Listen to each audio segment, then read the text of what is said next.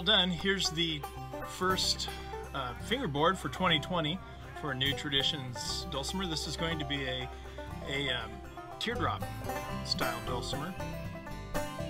It's black walnut, laminated black walnut, and um, wenge uh, for the fingerboard with abalone pearl dots for the position markers. Now this is new for us.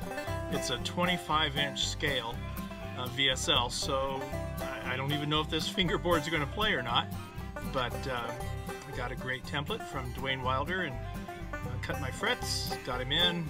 We usually do a 27 uh, VSL and this is 25, so the whole instrument will be two inches shorter, which I'm really looking forward to.